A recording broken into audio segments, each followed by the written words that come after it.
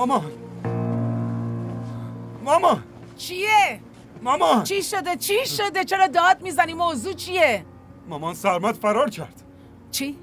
سرمت پولای منو گرفته و فرار کرد نه نه نه اشتباه می‌کنین ممکن نیست نه بابا اون این کارو نمی‌کنه اشتباه می‌کنی نه چی شده؟ مامان مامان اون منو بدبخت کرد همه پولامو گرفت و فرار کرد کارم قبل از شروع شدن تموم شد مامان اون منو دوباره سر خونه اولم برگرده بود.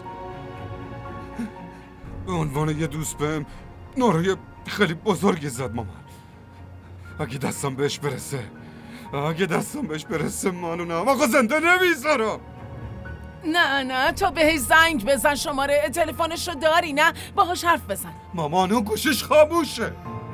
من از صبح دارم زنگ می‌زنم مامان اون فرار کرد. داداش احمد شما خانواده‌اش یا یکی از فامیلاشو حتما می‌شناسین مگه نه؟ نه خیر نمی‌شناسم نمی‌شناسم. یه خواهر و شوهر خواهر داشت که با هم زندگی می‌کرد حتی خونشونم رفتم ولی هیچ اونجا نبود. همشون رفته همشون فرار کردن. رای ما رو گرفتن و رفتن. مامان مامان! مامان آروم باش. مامان آروم باش. خواهش می‌کنم.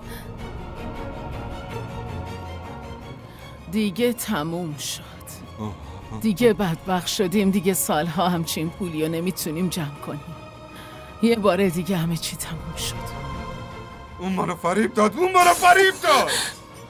زندگی منو تباه کرد. احمد احمد لطفا آروم باش. به من گوش کن. ما ما می‌تونیم از پلیس کمک بخوایم. پلیس چی کار می‌کنه؟ ها؟ پلیس هیچ کاری نمی‌کنه. من هیچ مدرکی ازش ندارم. من هیچ مدرکی ازش ندارم. هیچ مدرکی ازش ندارم. خب مگه قرارداد پیشت نیست؟ قرارداد. قرارداد پیش اونه. همه یه برگه ها پیش اونه. اشتباه از منه. اشتباه از منه. من نباید اعتماد می‌کردم. احمد خواهش می‌کنم این کارو نکن. تو حالت خوب نیست. برام ببینم.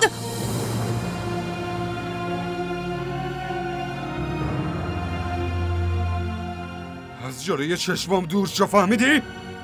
اگه جلوی چشمم بیای. زندت نمی‌ذارم. کار من تموم شد. بدبخت شد تموم شد. همه چی تموم شد.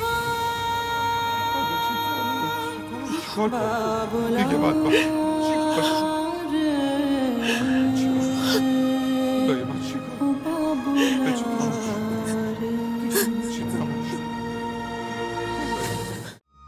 کانال ما رو سابسکرایب کنید. حمایت شما به ما روحیه میده.